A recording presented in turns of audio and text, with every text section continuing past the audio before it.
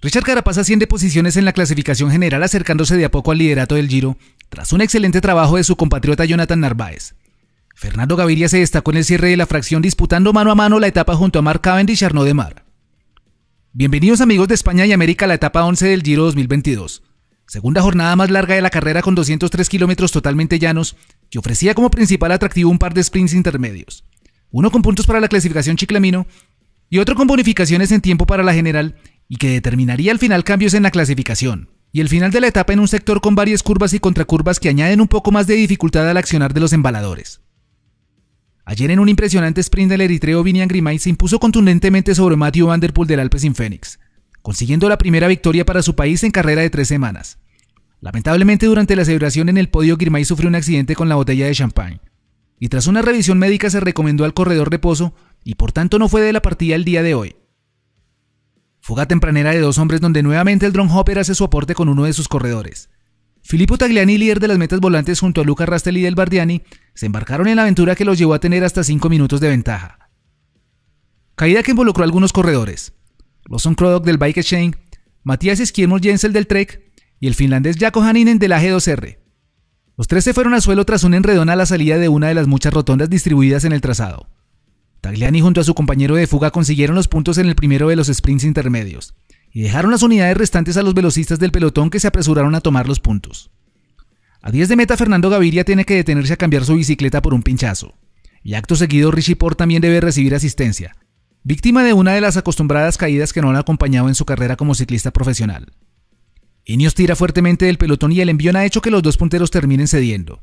La fuga se acaba antes de entrar en el siguiente de los sprints, donde se repartían bonificaciones en tiempo para la clasificación general. De ahí que el equipo británico tensara la cuerda para conseguir la ventaja en favor de Richard Carapaz. Y es precisamente el ecuatoriano el que consigue pasar por delante en el sprint intermedio. Gracias al trabajo de su equipo con Ben Swift y en especial de su compatriota Jonathan Narváez, que además de lanzarlo se queda con la segunda posición quitándole la posibilidad de sumar a otros interesados. Aparece ahora el Quickstep en el frente aprovechando el golpe de viento para intentar cortar el grupo pero los cambios de dirección no les permiten lograr su cometido de formar los tan temidos abanicos. A 58 de meta, Dries de Bond del Alpe sin salta del paquete y se convierte en el nuevo puntero de la etapa. Toma ventaja en los kilómetros siguientes llegando a conseguir hasta 45 segundos de diferencia, pero tendrá que remar en solitario, hacer una carrera más que perfecta porque el esfuerzo individual es mucho más exigente que el del lote que viene aumentando el ritmo. Otra rotonda cobra nuevas víctimas. Tobias Bayer del Alpecin y David Chimolay del Cofidis son los siguientes en visitar el pavimento. Pasan los kilómetros y Devon sigue en punta con 20 segundos de ventaja.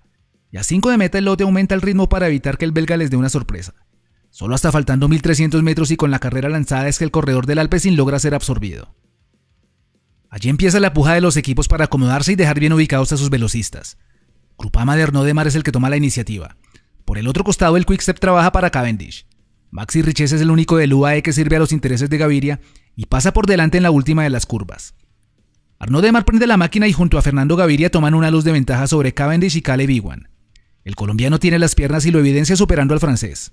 Está cerca de cruzar la línea, pero como un fantasma aparece Alberto Dainese del Team DSM y le arrebata la victoria de forma increíble. De nuevo Gaviria se queda con el grito ahogado pero demuestra que está en buena forma.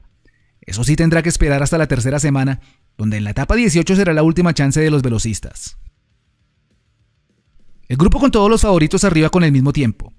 Juan Pedro López completa su séptimo día consecutivo como líder de la general, y Richard Carapaz con la unificación obtenida asciende al segundo lugar desplazando a Joao Almeida, ambos a 12 segundos de López, pero en favor del ecuatoriano está el haberse ubicado mejor en las anteriores etapas, y eso es lo que se tiene en cuenta para el desempate. Romain Bardet se mantiene a 15 segundos pero baja una posición. Luego vienen Jay Hindley a 20, Guillaume Martin a 28, Mikel Landa a 29, Domenico Pozzovio a 54, a 1.09 Manuel Bogman y cierra el top 10 Peyo Bilbao a 1.22.